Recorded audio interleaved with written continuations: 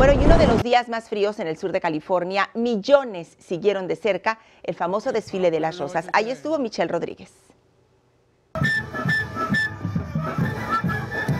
Se festeja el aniversario 126 del desfile de las rosas en Pasadena, California, donde cada año se le invita a participar a una banda de México.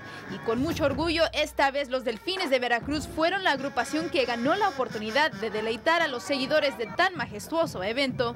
Mucha emoción de que nuestro trabajo al fin se va a presentar.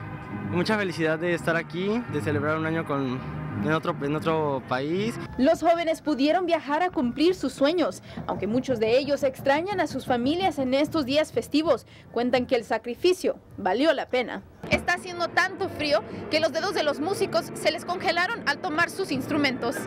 A pesar de las bajas temperaturas, miles de espectadores durmieron en las calles en espera de la procesión. ¿Qué significa para usted ver a su compatriota aquí, sus compatriotas aquí representando a su país? Wow, ya que nosotros no podemos ir, eh, México nos representa a todos los latinos aquí. ¿Y hoy?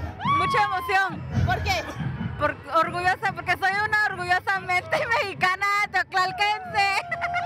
Otros recorrieron largas distancias, viniendo desde lugares como Chihuahua y Guadalajara para apoyar a sus compatriotas. Está muy padre eh, venir y saber así como de que pues tenemos algo más que ver aparte de los americanos, ¿no? O sea, está, está, todo México aquí, o sea, muy, mucha parte de México está aquí.